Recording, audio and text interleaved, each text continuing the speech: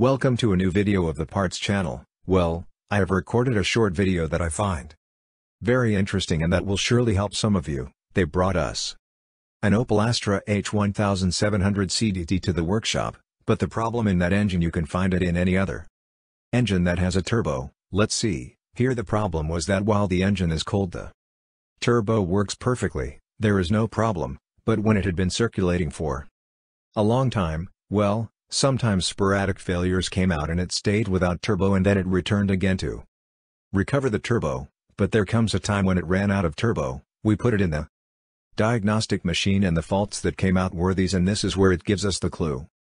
P0234 turbocharger boost condition, it's telling us there's a problem with the turbo, it's sending out too much air pressure in the P0105, absolute pressure circuit.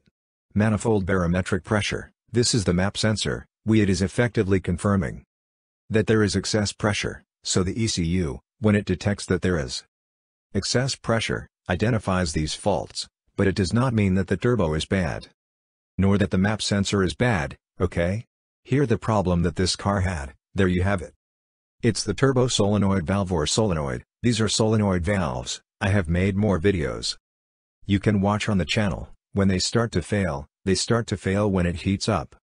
Then, when they are cold there is no problem, but when they are hot, they start to fail and then the ECU, seeing that it cannot control them, because it detects that excess pressure, what it does is, directly, stop sending current to the solenoid valve, then it no longer works, so the turbo does not work and this is done by the ECU, the vehicle's computer.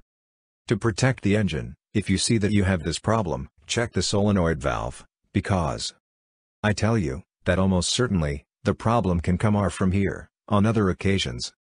The turbo problem can come, but when the turbo problem comes, it usually starts to fail.